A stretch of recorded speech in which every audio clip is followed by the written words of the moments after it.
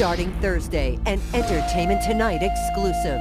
Last year in Twilight, women everywhere fell in love with a vampire. Say it. Vampire.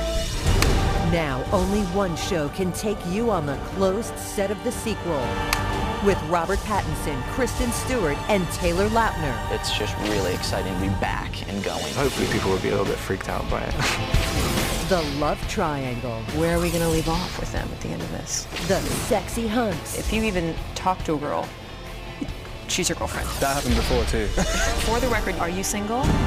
And the girl trapped in the middle. You have the sort of like sexified mountain man.